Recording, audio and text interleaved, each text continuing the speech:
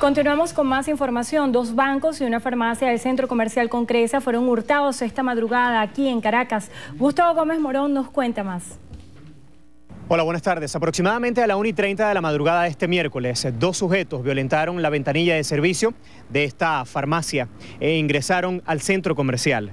Las videocámaras alertaron al vigilante de guardia y se activó el protocolo de seguridad. Una ventanilla de turno que está en la parte externa que da hacia la calle de Farma Ellos ingresaron por esa ventanilla, ¿verdad?